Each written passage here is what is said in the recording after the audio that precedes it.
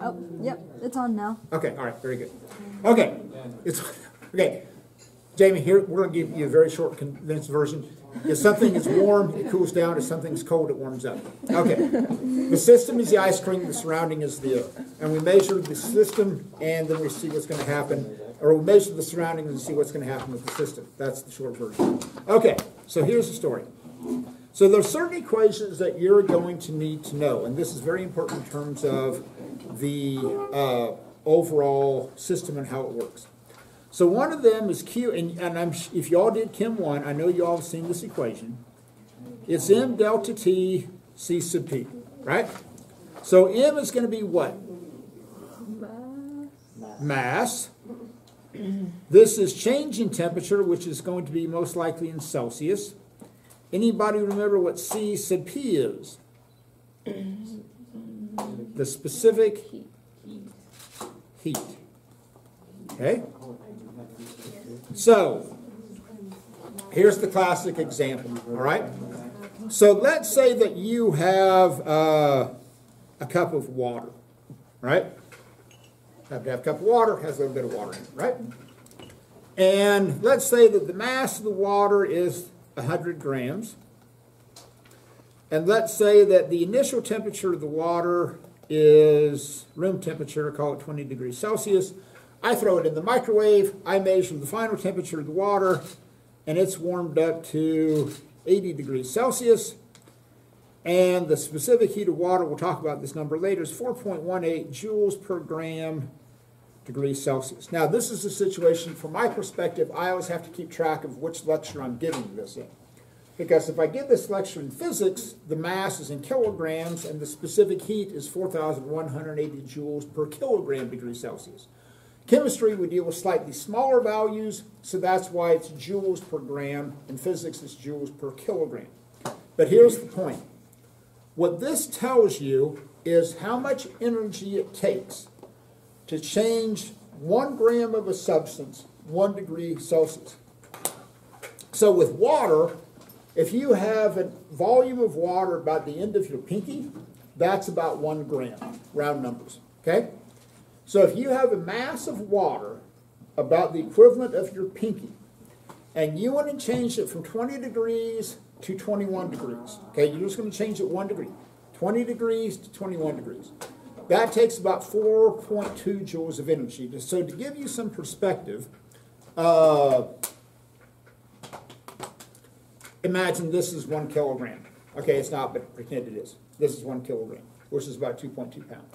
So this is one kilogram. If I lift this up, I do work. So if I lift this thing, if this is one kilogram mass, and I lift it up to a half a meter, that takes me about 4.2 joules of energy to do that. Okay, so if I lift it from here up to here, if this was a one kilogram mass, that would be about four joules.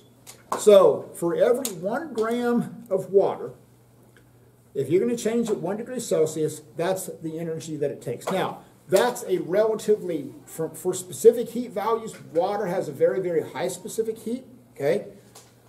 Metals, silver, gold, iron, those have much lower specific heats. So what that means is very, it takes less energy to change the temperature of a metal because it has a lower specific heat. It takes a lot of energy to change the temperature of water. So if you look at this calculation that we're going to do, we got 100 grams of water, not all that much, okay? We're going to want raise it from 20 degrees to 80 degrees. We're, we're not even going to make it boil. Okay, we're just going to warm it up. Okay, not even anywhere close to boiling. It's going to be hot. Okay, but it's not going to boil. So somebody, Gracie, you got your calculator. So Q is going to be your energy. Now, for those of you that have taken or, or in AP Physics 2, Q, this is not the charge. Okay, this is energy. So Q in the phys in the chemistry class, when you see Q like this, that's energy, not charge. Okay, so don't say charge equals no. This is energy. So if you look at this, so we're going to have 100 grams. This is change in temperature. And you could write this as T minus T naught, temperature final minus temperature initial. If you don't like that, you can write it as temperature final minus temperature initial. Okay, I don't care, it's up to you. You can either use T minus T naught or temperature final minus temperature initial, it's up to you. And then we're gonna have, which in this case is going to be sixty degrees Celsius, and then multiply that by four point one eight joules per gram degree Celsius. Miracle happens. The grams cancel out, the degrees Celsius cancel out, and I have joules left over. So, Gracie, take 100 times 60 times 4.18. 25,080 25,080 joules. joules. Okay? Now, to give you some perspective on how much energy that is, if this is a one kilogram mass and I lift it up to a height of one meter, that's about 10 joules. So to generate that much energy, I would take a one kilogram mass, I lift it up like this, that's 10 joules. So that would be the equivalent of lifting a one kilogram mass 2,508 times.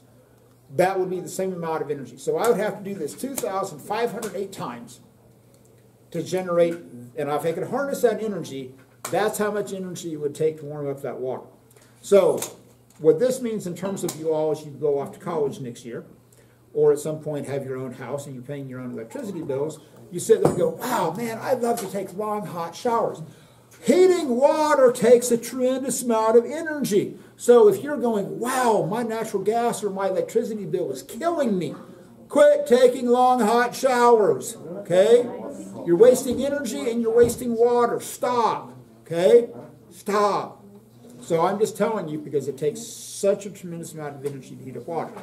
Now, what you're going to do in the lab tomorrow, there's going to be some questions like this on lab on, on your homework today. So what we're going to do is you're going to take a certain mass of water. Let's say it's 100 grams of water. And you're going to dissolve maybe something like, uh, I don't know, calcium carbonate. So you're going to take calcium carbonate, and that's going to dissolve in water. Actually, it won't, because uh, calcium carbonate is insoluble. Uh, let's make it sodium carbonate. That's soluble. So sodium carbonate is going to break up into two sodium ions and a carbonate. Okay? If calcium carbonate was soluble, we wouldn't build limestone buildings because it would just dissolve. So let's say you have sodium carbonate. Okay? I'm just making up this numbers, just stay with me here. And let's say that that's 10 grams of, of sodium carbonate. So we measure the initial temperature of the water. Now, here's what's going to be important. The water is the surroundings. Okay? The water is the surroundings. So we measure the initial temperature of the water, and let's say that that's 20 degrees Celsius. Okay? Temperature of water, boom, 20 degrees. I take 10 grams of sodium carbonate and I dissolve that into the water. Okay? Now, we measure the temperature of the water, and the temperature of the water goes up to 22 degrees Celsius. So, one of the things we'll talk about is that this is also what breaking bonds and forming bonds. Okay? When you break bonds, energy is put into the system. When you form bonds, energy is released. Okay? So, what's happening on an atomic level is that you actually have two sets of bonds that are being broken and formed. So, it takes energy to break the bonds that hold, like for example, let's say this is your sodium carbonate. Okay? So, here's your, whoa, here's your big carbonate, here are the two sodiums attached to it. So, it's going to take a certain amount of energy to break the bonds that hold the sodium to the carbonate. So that's an input of energy. Okay, that costs energy. It's an input of cost because you got to break these. So imagine this: these are held together with little magnets. Boom! I have to put in put energy. Boom! There you go. But now these are going to bond with the water molecules that are in there. So if here is a water molecule, now what's going to happen is that the sodium ions are going to be are going to be attracted to the water molecule. Oh, they're going to form a bond. The carbonate is going to form a bond. So when you form bonds, you release energy. So because of the fact that the temperature goes up, that what that tells me is that more energy is released in the formation of bonds than it is in the breaking of bonds. Classic example. It's cold. Okay, it got cold last night, right? You woke up this morning, it's 30 degrees. Wow, it's cold, right? Okay. I'll start a fire. Cool. I'll start a fire. What's the for, from from a bond perspective? When you burn wood, or is ener- is the net release of energy going out, or is the net input of energy going in? Which one is big? Release of energy or input of energy? Release of energy. Okay. If the net input of energy was going in, the air around the fire would get colder, which would be really weird. Okay? Wow, it's really hot outside. Let's start a fire. Okay? But no, if the if the net input of energy was in, you would start a fire and it would cool down the room. Okay? Not very effective to cook food either. Okay? Wow, let's cook a hamburger. Let's start a fire. No, you're going to freeze the hamburger. Okay? Because the energy would be flowing out. But burning wood, burning charcoal, burning natural gas, you get three things. You get carbon dioxide, you get water vapor, and you get heat. Okay? All three of those, which is what happens when, and that's what you all were doing. Okay? You all are little furnaces. You are taking complex sugars, which are carbohydrates, and you're breaking them down, and you are exhaling carbon dioxide and water vapor. Okay? And you're also getting heat which allows you to stay warm. Okay? If breaking down complex sugars took in energy, your body would be actually always be getting colder because energy would be going into it. Okay, now here's what's going to be important. What we need to do is calculate the amount of energy, the amount of energy that was released. Okay, so we're going to use that Q equals. uh, Q equals M delta T C sub P. Now, listen to me. The sodium carbonate dissolved into the water. So, the mass that we're going to use is also going to include the sodium carbonate because it dissolved and became part of it. So, the mass that we're going to use is 110 grams. Okay?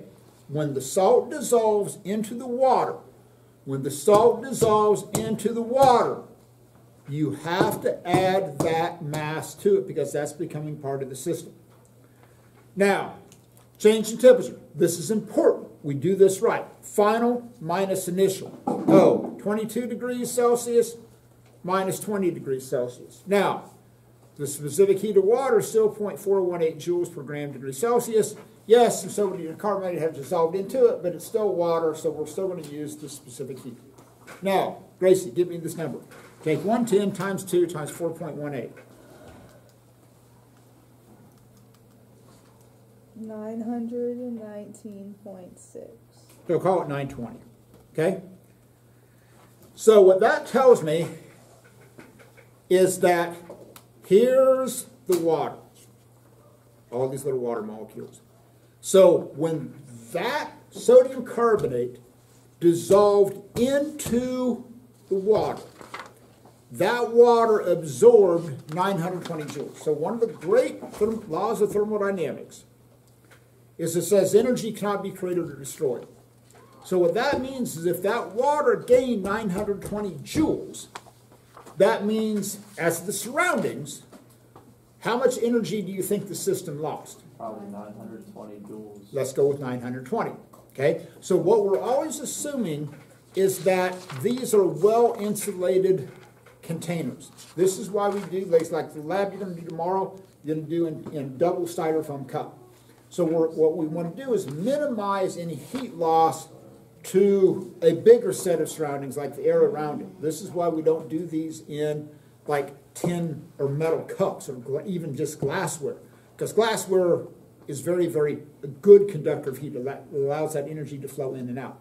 So this is why the lab tomorrow, we're going to do this in styrofoam cups. Okay, now, there's some different terms we're going to deal with in this whole unit. We're going to deal with delta G, delta H, delta S. Now, you already know what delta G is. What's delta G? Change in what?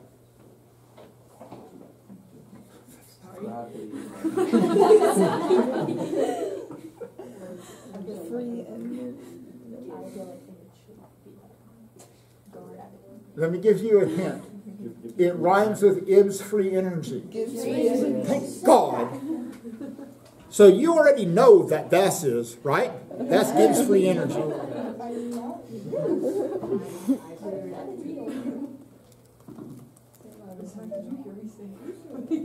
No. Did, you, did someone say it? I whispered it at her. Zach said gravity. I was joking. Zach said gravity. I said God. Okay. Now, delta H is enthalpy. Okay? Now, and delta S is entropy. So when you look at, and this is all going to be about the units.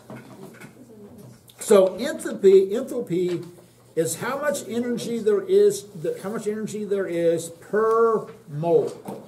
Okay, this is going to be important. This is per mole. Entropy is a measure of disorder.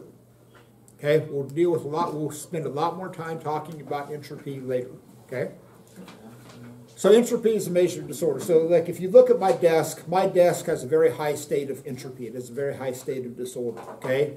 Back of the room, I've kind of tidied that up a little bit. I've kind of decreased that entropy a little bit relative to normally how it is. Okay, back off me. Don't be judgy. This is why I'm single. Okay, so no, it's true. It's like, oh, your room is a mess. Back off. It's my room. Okay, so entropy is a measure of disorder. Okay, that's all you need to know for now. It's a measure of disorder. The more messed up it is, the higher the entropy is. Okay?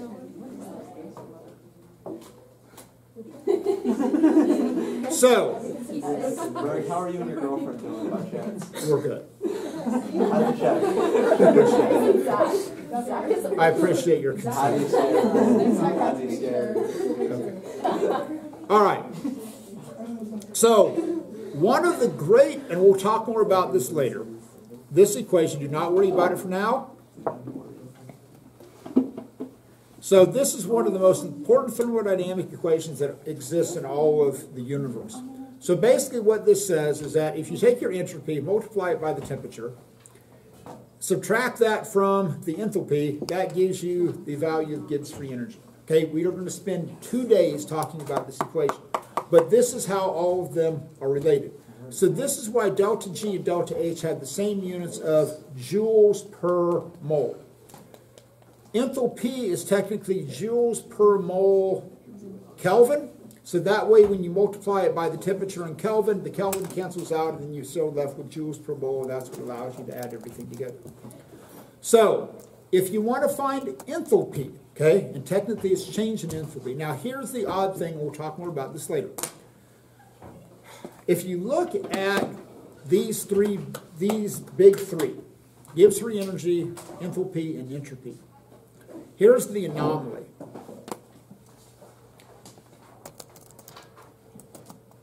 If you go to Amazon and type in, hey, I want to buy a Gibbs free energy probe, or I want to buy an enthalpy probe, or an entropy probe, they don't exist.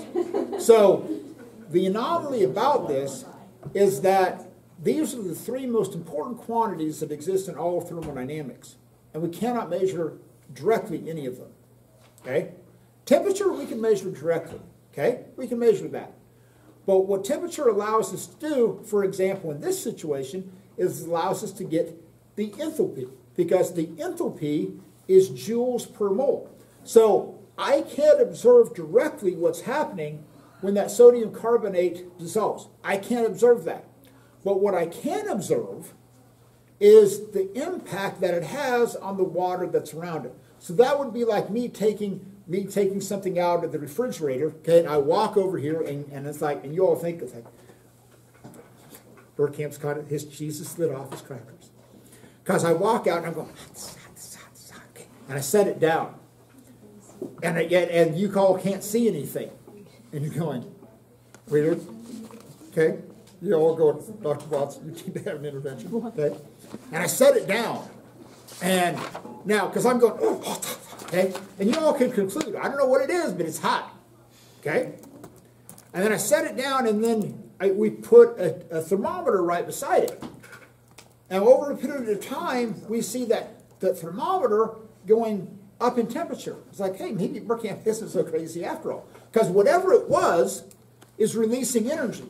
Because we can tell that by the temperature going up in the surroundings. You can't see the system, but obviously something was there. Because the air around it isn't going to increase its temperature on its own because Mother Nature is lazy prima donna. So when you see the temperature of that water go up, you can't see the system, but you can observe the surroundings. And when you see the temperature of the surroundings go up, it's like, ooh, don't know what happened, but somebody got rid of some energy. So here's the point. We had 920 joules that was released. Now, this sounds biblical, but this is all about the signs. You have to watch the signs, okay? You have to watch. So one of the most important signs that you're going to begin to notice is the sign of delta H. So delta H could be negative or positive. It's like square root, okay? Plus or minus. Now, here's the first thing you need to begin to memorize. When you have a negative delta H for the system, okay? Delta H is never for the surroundings. Delta H is always for the system. So when you have a negative delta H, that's exothermic. Okay?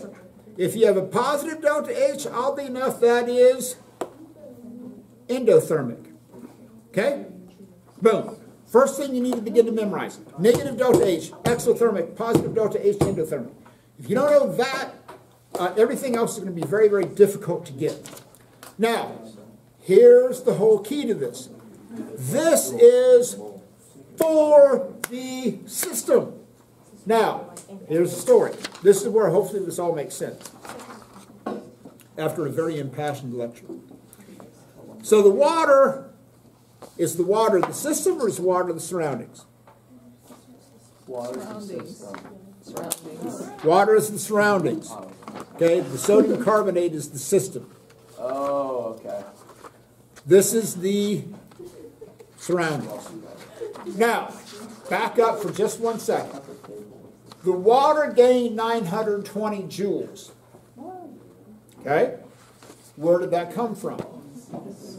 The system. Came from the system.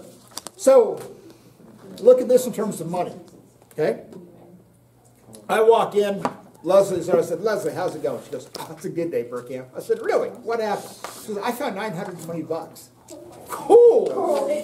Cool. She's buying a lot of donuts. Okay? She's buying a lot of donuts. Right?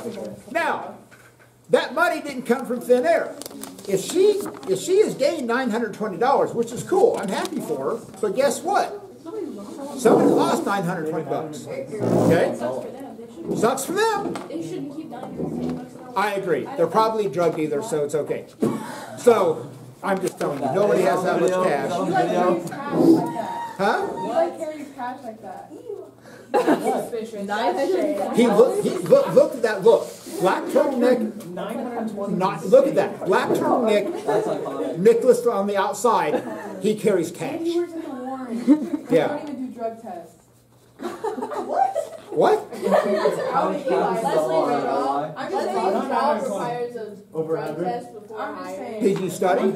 Huh? Did you study? Not carrying more than a Do you study for the drug test? Okay, good. Okay, all right. over three. Before you take a drug test. Okay, Over that's applied chemistry. Okay, now back to our story. Back to our story. Back to our story. So, if you want to find the enthalpy change for the system, look at the units. That's joules per mole, It's right? 15. So, what do you think I'm going to have to do with the 10 grams of sodium carbonate? Molar mass. Oh, I got to find the moles of sodium carbonate, right? So, do the math. Uh, oxygen is 16 times 3, that's 48. Uh, calcium is 40.1. Sodium is, what, 23? 23, 64. So somebody take 64 plus 48 plus 40.1.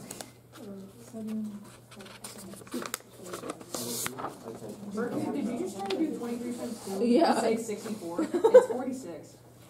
Okay, I have dyslexia too. that was math. dysle- I had the right numbers, okay? Dyslexia with numbers coming out. There you go. I had them, just the wrong sequence, okay? Maybe that's why the police never called, because I called 119. Okay, That was fine. Hey, Don't let them put you down. nine one one in a rural area. They They don't won't answer. pick They up. won't answer. They don't answer. They won't pick up. really? Yep, it's like a six something number, yeah. We called nine one one three times. They pick don't up. answer. Four. That's We don't scary. even hear about your wreck. Okay, anyway, 40, what, what, what'd you get? Oh, I didn't do it. One hundred thirty-four point one. Still don't answer. Okay, so now take 10 and divide that by 134.1. Point oh seven four six. moles of sodium carbonate. So if I want to find the enthalpy change for this reaction, I'm going to take the 920 joules. Now, here's the kicker. This is what's going to be most important. On the surroundings, listen to me, on the surroundings, you had a positive Q, okay? Because temperature went up. So that was for the surroundings. So for the system, if you have a positive Q for the surroundings, what do you think the sign is of Q for the system? Negative. So for the system, I'm going to take a negative 920 joules, and then I'm going to divide that by the 0.0746 moles of sodium carbonate. And when you do that, what do you get? Pretty big number. Get on that. Twelve thousand three hundred and thirty-seven 12,000 joules. per mole. call it 12,300 joules per mole. Now, I'm going to make that a negative, okay? This is all about the sign. So, when you find the enthalpy change for the sodium carbonate, so you have a positive Q for the surroundings. That's in lab tomorrow. You're going to make, you're going to dissolve calcium, you're going to dissolve copper sulfate in water. The temperature of the water goes up, for the surroundings, the temperature's gone up. That means the system has lost energy. So that means you're going to have a negative delta H because it's exothermic. Energy is being released. It's an exit. Energy is being given off. Now, if the temperature had dropped, if the temperature had gone from 20 down to 18, here's where the magic happens. If the temperature of the water had gone down, which is one of the things that should happen tomorrow, one of the reactions, your temperature should go down. Then, when you take temperature final, if you take 18 minus 20, then you're going to get a negative Q for the surroundings. That means you're going to have a positive Q for the system. That means it's an endothermic reaction. So, you're going to calculate Q for the surroundings, switch the sign, and that's how you're going to get your enthalpy for the system. Open the door! Open it.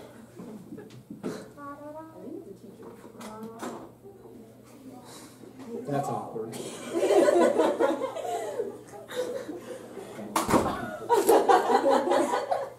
Open the door.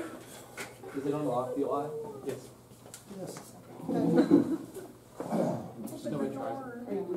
Well, because everybody else locks the door. I'm the only one. Yeah. Ooh. I think I'm the only one that doesn't. Keep that on the down low. Nobody has. Okay, now, Nice. I don't wanna be. now, here's the next big one. Delta U equals Q plus W. So Q, we just talked about that in terms of energy. So here, energy is flowing in or out. So this is this this and this is what's going to be important. What you're talking about here is all about the sign. So if you have a positive Q, that means if here's your system, that means energy is flowing into it. Okay? You're dumping energy into the system. You want a water bath. Okay, cool. You're gonna take a beaker of water, you're gonna put it on the hot plate, you're gonna turn it up, energy is gonna flow in. That would be a positive cue. They're like, what else would you bathe in? Yeah, that's what I was You should thinking. water bath, so I don't know.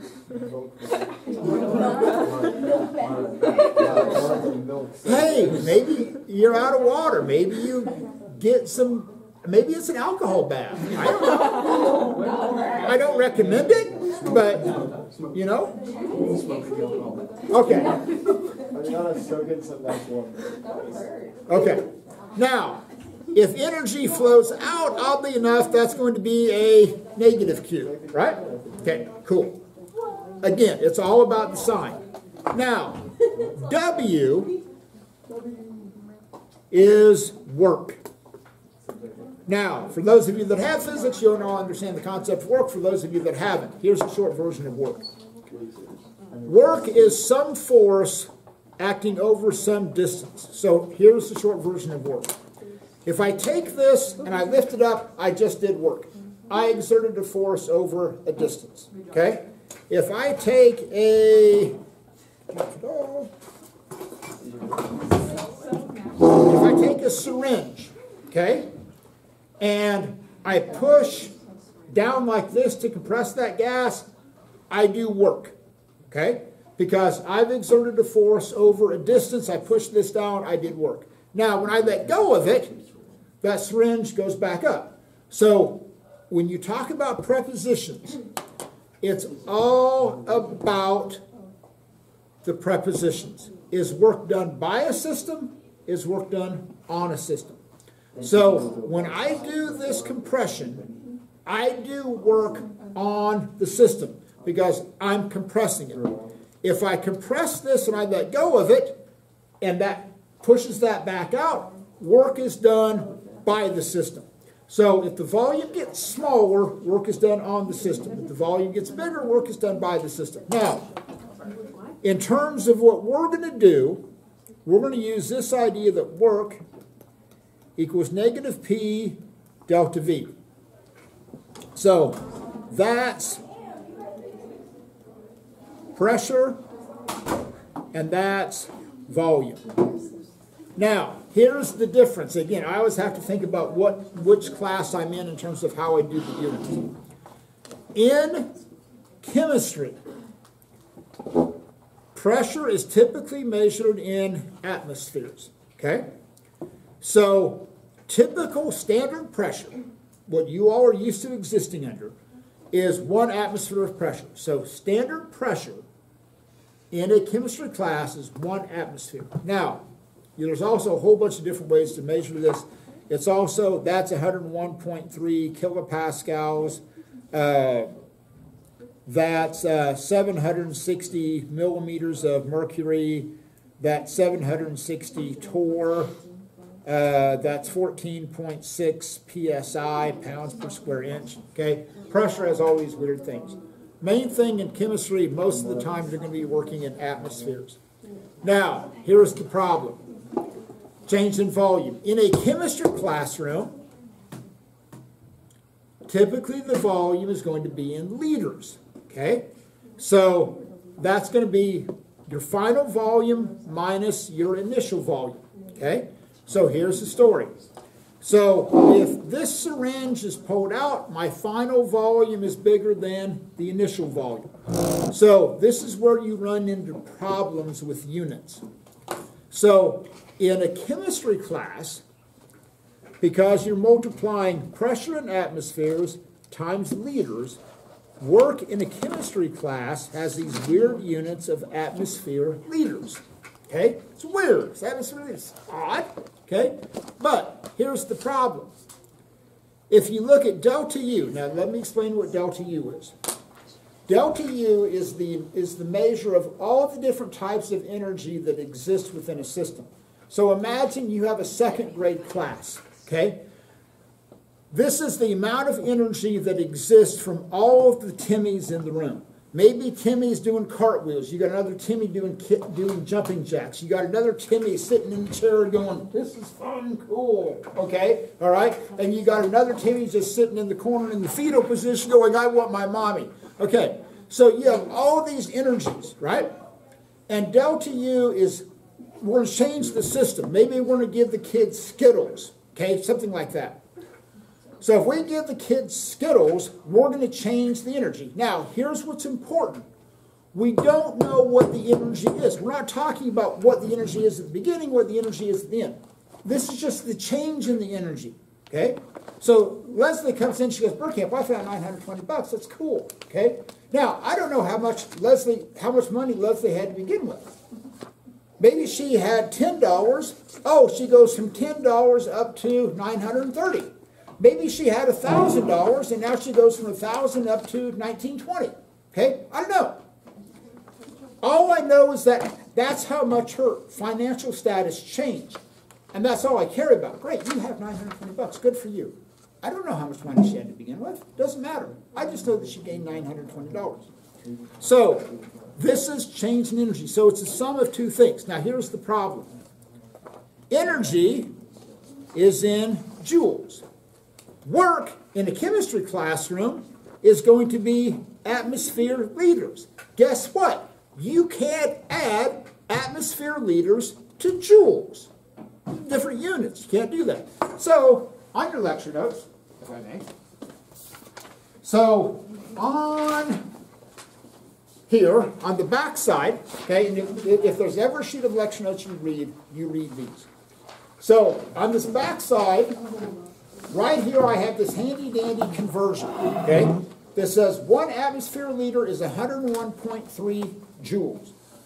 You have that's the that's going to be the magic conversion, which is going to allow you to add joules to atmosphere liters. Okay, so that's a number that you're going to need on today's assignment. So here's the situation. So let's say that I'm going to dump in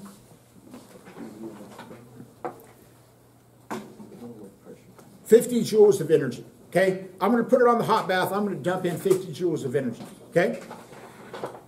So here's my system. Boom. I'm going to dump in 50 joules. So if I don't do any work, that 50 joules is my delta U because there's no work involved. You only do work if you change the volume. Okay? Because work equals negative P delta V. Okay? And the negative sign makes the signs work out. That's why that negative sign is in front of it. So I do 50 joules of energy is put into the system. Okay, there you go. Now, then I'm going to tell you that the system does uh, 300 atmosphere liters of work. Okay, so I'm going to take, and I want to find the delta U, which is Q plus W. So here's the problem. I can't add atmosphere liters to joules. Won't work. Okay, can't do it. But what's the conversion from atmosphere liters to joules? Which one's 1 and which one's 101.3? Mine's the one point three joules. 101.3 joules, it's like the radio station, 101.3. Listen to the smooth tunes. And that is one atmosphere liter. So guess what? The atmosphere liters cancel out. So I can take 300, multiply that by 101.3, then I can add that to the 50. Now, let me give you a simple example of how work can be done on a gas. So put your hand in front of your face about like and about like this, about this far, and have your mouth completely open and blow in your hand. How does it feel? Feels warm, right? Now do the exact same thing, but then I want you to pucker your lips and then blow on it. How does it feel? Feels cold. Because what you're doing is that you are doing work on the gas. You are compressing that gas as it goes between your lips. Now, Mother Nature doesn't like that. Mother Nature goes, oh man, I hate being compressed, man. I want to be free at last, free at last. So Mother Nature is going to expand. Okay? And that costs energy because you've got to do this expansion kind of thing. So as that goes through, it cools. So if you have a bowl of hot soup, okay, you have a bowl of hot soup, like, oh man, it's hot, it's hot. Got to cool it down. So there's two ways you can blow on it. You can blow on it like this, with your mouth open, or you can pucker your lips and blow on it. Which one's going to cool the soup down? Which one's going to cool the soup down faster? You pucker your lips because the air coming out of puckered lips is colder than air with your mouth just open. Okay. Oh, I hate this. This is such bullshit. It's only like 10 minutes short. Huh? It's only like 10 minutes I know, but it just messes up my cheese. You're right, Evan. We did learn about that. We did that. What else did we use it for? Thank you, Bertie. Multiple questions. The project? So, You think that this has been on there long enough? Yeah, she can pause it too. Okay, okay, look, look, look, Leslie, you see this? I have a grommet. yeah, I hate them. How can you hate grommets? We're, in our engineering projects, we're making something with grommets and. Oh, okay. Why are there two of them? Okay. Now, so let me kind of take you through this. So, delta E, which is a change in energy, is the same thing as delta U. Chemistry calls it delta U, or physics calls it delta U. Chemistry calls it delta E. It's the exact same idea. So delta E and delta U mean the exact same thing. So on this first one, this is all about the prepositions. So on when you calculate delta E, literally all you have to do is add those two numbers together. Do not make it difficult. You add the numbers together. So when I say which case does the energy flow out of the system, so that question about energy is not your delta E. Just focus on the Q value. Okay? When I'm talking about energy flowing in or out, that is just about the Q. Then, in which case does does the system, not they system, does the system, just realize that was a typo, does the system do work on the surroundings? So that's going to boil down to the sign of W. Okay? So on the lecture notes, I lay the, this whole thing out. If work is negative, that means work is being done by the system, it's costing it energy. If work is positive, work is being done on the system, so you're compressing that gas. Uh, when you get to question number five, okay, so notice that you have a negative, you have a delta H of negative 296 joules. So what that means, this is a, this is a stoich problem. When you see that 296 kilojoules per mole, that's per one mole of sulfur and one mole of oxygen and per one mole of SO2. So when you get to question A, it says, how much heat is evolved when 275 grams of sulfur is burned in excess oxygen? This is a stoich problem. Take your 275 grams of sulfur, change that into moles of sulfur. For every one mole of sulfur, 296 kilojoules is going to be released. Now, how do you know that this is an exothermic reaction? How do you know energy is, is going to be given off? Negative delta. You have a negative delta H, it's an exothermic reaction. Okay. When you get to question number uh, eight, okay, so this is like the sample problem that I worked. Coffee cup calorimeter, which is what we're going to be doing tomorrow. You're going to dissolve 1.6 grams of ammonium nitrate, 75 grams of water. I give you the initial final temperatures. You're going to calculate the enthalpy change. So there's a whole bunch of things you need to do on number eight. Okay? First off, big idea. You're going to go at 25 degrees, you're going to end up at 23.34 degrees. Is the water warming up or cooling down? Cooling down. So that means, because you're cooling down, this is going to be an endothermic reaction, which means Q has to, for the system, has to be a positive value because you want a positive delta H, okay? Because it's going to be an endothermic reaction. Uh, when you get to number nine, calcium chloride separates into calcium ions and chloride ions. Notice that you have a negative delta H. Is this an exothermic or endothermic reaction? Exo. Energy is going to be given off. So, let me give you a hint. The water is at 25 degrees Celsius. Energy is going to be given off. You want to find the final temperature. Does your answer to number nine have to be bigger or smaller than 25 degrees? Smaller. Bigger. Bigger because it's an exothermic reaction. Energy is going to be given off. Water has to go up. So let me give you a hint on number nine. On number nine, you're going to use Q equals M, temperature final minus temperature initial times specific heat. The first thing that you have to do is calculate Q. So you need to take that 11, here's the steps. You need to take the 11 grams of calcium chloride. You need to change that into moles of calcium chloride.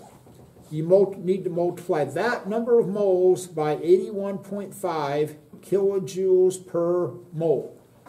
The moles are going to cancel out you get kilojoules. Now pay attention to the units. What units is specific heat in? Joules per gram degree Celsius.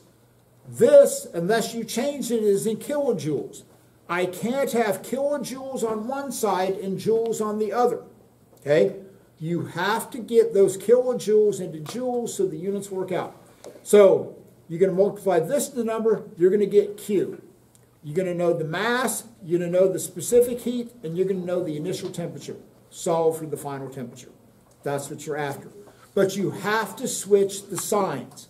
You have to make Q in this calculation a positive number. And the reason that works is because you have a negative delta H.